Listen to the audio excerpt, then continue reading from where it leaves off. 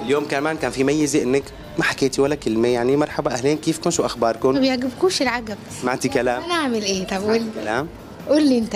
أنا عم ب... أنا أنا والله بزعل عليكي الصراحه كل ما بيصير معك قصة بزعل. وحتى جمهور شيرين الكبير بيزعل عليها كمان لما بتتعرض لهجوم وانتقادات من خلال زلات لسان العفوية على المسرح بأغلب حفلاتها الماضية. المرة اللي فاتت زعلوا وعملوا هاشتاج عشان قلت للستات تسمع كلام الرجالة.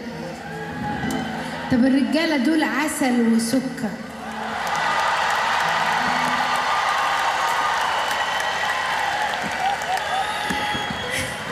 مش عارفة إيه اللي مزعلهم في كده. أكيد أكيد دول شوية عوانس يعني.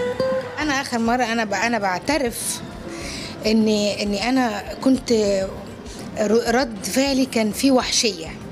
بس ده لإني أنت لما تقول أنت لما آه، صبحي أنت لو بتقول قدامك نصيحة واللي قدامك بيقول لك اخرس هتكون حد معاه ولا مش حد؟ بس هو كل الحكاية أنا شايفة أنا ما غلطتش في إني لما أوصي الرجالة الستات على الرجالة. أنا ما غلطتش في حاجة. شيرين أنت صارت ردة فعلك يعني إنه قلتي عوانس وهي وهي الكلمة مش حلوة. طبعا مش حلوة وأنا بعتذر بعتذر عنها للناس اللي جرحتهم بيها. أنا آسفة وأنا اللي عانس. بلاش بلا لو أنتوا لو الكلمة ضايقتكم أنا بقول على نفسي نفس الكلمة. لكن أنا آسفة إن فعلا أنا أذيت شريحة من الناس ممكن يكون ملهاش علاقة باللي حصل. بس أنا آه، أنا مش كبيرة على الاعتذار وأنا قلتها كتير. قبل كده. بفهم منك إنه بطلتي تحكي على المسرح حتلتزمي بهذا الشيء؟ يعني تحكي. الله أعلم. الله أعلم.